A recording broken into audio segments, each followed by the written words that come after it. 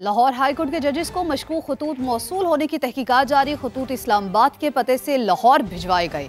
छानबीन के लिए सी टी डी की टीम इस्लामाबाद रवाना हो गई। मामले का मुकदमा दहशत गर्दी की दफात के तहत दर्ज किया गया। हुक्काम के मुताबिक खतूत को फॉरेंसिक लिबार्ट्री भिजवा दिया गया। खतूत से मिलने वाले मवाद से मुतालिक रिपोर्ट के बाद ही वाजे हो सकेगा। लाहौर हाई कोर्ट के जजेस को मिलने वाली धमकी आमेज खतूत की तहकीकात में अहम पेशरफ हुई है। इसी के बारे में आपको बताते हैं। इब्तदाई रिपोर्ट के मुताबिक, लिफाफों में खतरनाक आर्सेनिक की मामूली सी मकदार पाई गई है। ये अगर फेफड़ों तक पहुँच जाए तो खून बहना शुरू हो जाता है और इसकी ज्यादती की सूरत में मौत वाकई हो सकती है। फॉरेंसिक रिपोर्ट की मजीद तफसीलात जानेंगे। समा के नुमाइंदे जहांगीर खान हमारे साथ हैं।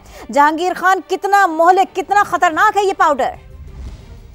किरण ये चार एनवेलप जो है बतौर एविडेंस काउंटर टेररिज्म डिपार्टमेंट ने फोरेंसिक साइंस लेबोरेटरी भिजवाए थे जिस पर तीन फोरेंसिक टेस्ट किए गए हैं और गैस क्रोमाटोग्राफी मैथ टेक्निक से ये मुमकिन हुआ है कि इसमें से आर्सेनिक की शनाख्त की गई है और इस पाउडर में लिथल आर्सेनिक पाया गया है और एक कीमियाई जहर इसको कहा जाता है जिसको सूंघने से फेफड़े की सूजन नाक की सोजिश और खून का भाव हो सकता है जबकि ज्यादती के बायस जो है वो मौत भी वाक़ हो सकती है।